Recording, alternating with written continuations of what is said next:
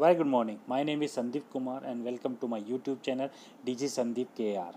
Today we are going to learn how to add an image to your story on your Instagram profile.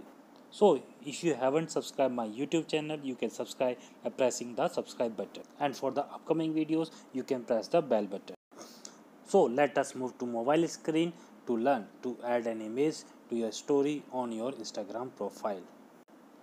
Now go to the home page of your Instagram profile and click your story button on the top of the home page on left hand side.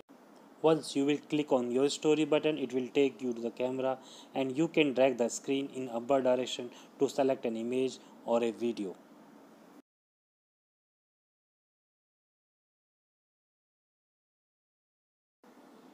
After selecting the image, you can add date, hashtag, quiz, or a location.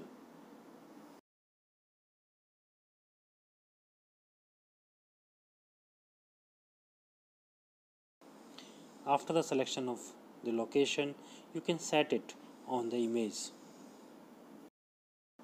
And now press the send to button and share your story on your Instagram profile. If you have liked this video, you can share this with your family and friends. Thank you very much. Have a nice day.